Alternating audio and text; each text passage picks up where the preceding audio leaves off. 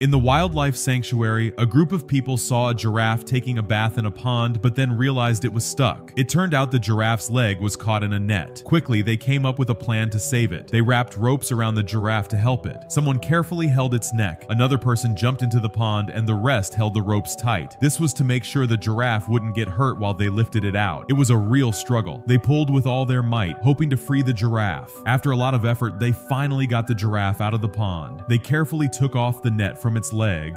Then they did everything they could to help the giraffe stand up. Once it was back on its feet, they watched it go back to its habitat. If you believe in heroes, subscribe.